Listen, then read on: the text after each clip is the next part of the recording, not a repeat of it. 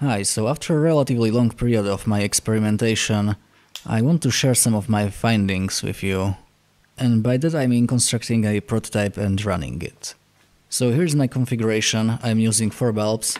There are two pairs of bulbs in parallel and these two pairs are in series. So the output power is the same but the density of power is distributed. I didn't really like that the bulbs were too bright. Anyway, so total power now is 400 watts. Now this material is not very good, in fact it's very bad, but it is the best that I have found. So if this doesn't work then I'm screwed. So to make this I used 3 parts of calcium carbonate, 2 parts of gypsum and 4 or 3.5 parts of water. You have to mix violently and then dump it into the form. Due to high filler and water content this will, well, set initially quite quickly and then you will need to release the water, excess water so this will take some time in a hot oven or something like that. In addition to that I will have some other material stacked up, but this gypsum will be my primary temperature dropper. Now I'm installing some temperature probes. I am interested basically in the temperature on the bottom, in the center. I will have one more probe in the cavity so we will know what the temperature inside is, approximately. Now to explain better this stack, so I have 10mm thick gypsum piece on the bottom. Underneath that there's 2mm of wood, and underneath that is 2mm thick piece of polystyrene. On top of this stack I will place quartz glass plate.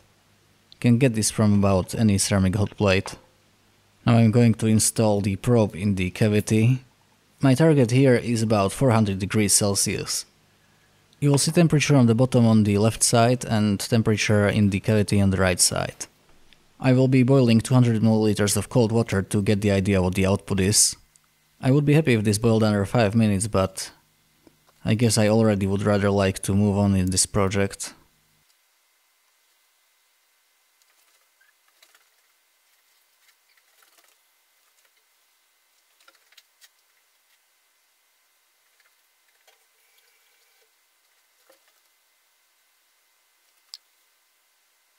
Well, 7 minutes.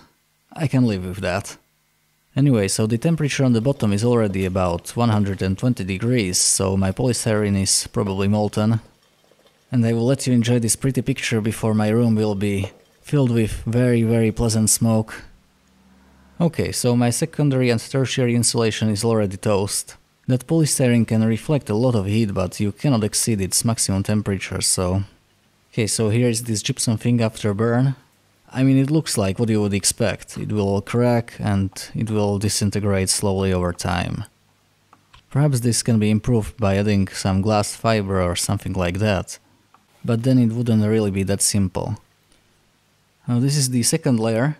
You can see that this is not a wood, but thermal properties will likely be very similar. And this thing looks like it was exposed to about 300 degrees Celsius, so... Not really that good. About 100 lower and we could probably make it. And this is the polystyrene piece. And after the reflective layer was stripped off. I think I would like to replace wood with something else, but I don't know really with what. This polystyrene is pretty good and I don't think I will find anything better. Now during assembly of this heater I managed to crack it. This is why it is held together with zip tie. I mean this material is really delicate even if it's not damaged by the heat, so but it does have about the same performance as the commercial stuff I have tested, so I really doubt that I will find anything better than this. Structurally, perhaps, but thermally, I, I really don't think so. You can see that this thing quite still holds together, somehow, but I could imagine that over time these cracks would progressively get much worse, and eventually this thing perhaps would turn into powder.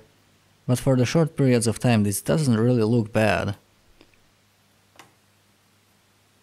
My other idea was to replace calcium carbonate with calcium hydroxide and let it cure in the air to become calcium carbonate.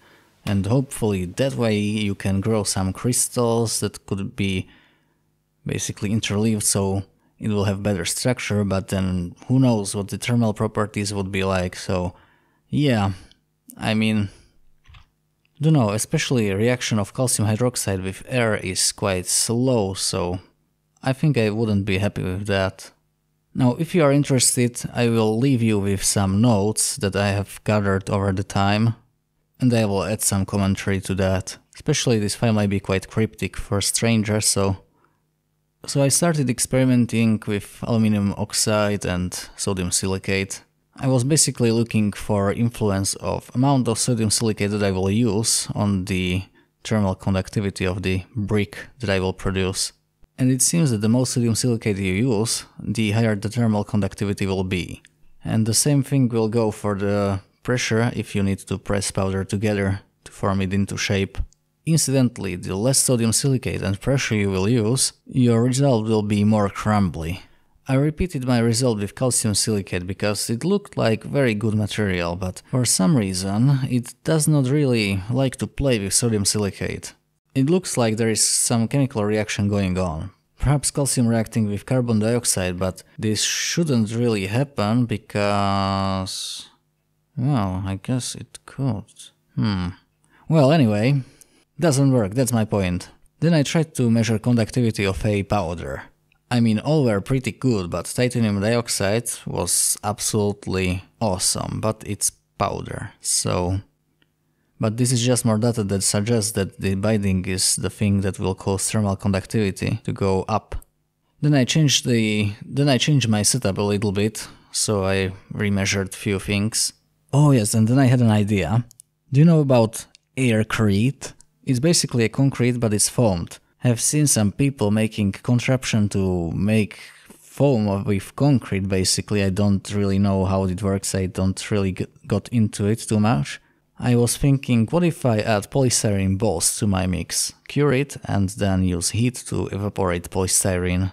So here you can see what it looks like. This is gypsum, so obviously it has cracked, so... So yeah, my point is that it can be done, but it unfortunately doesn't work for me.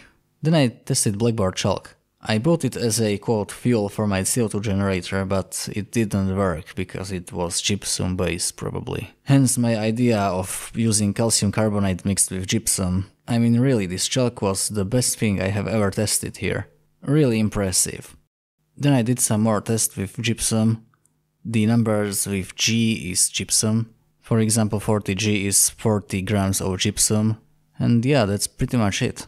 Now I have to run some more tests with this gypsum recipe, but even from mechanical perspective it is not the thing that I'm looking for really, but I have decided to share this anyway.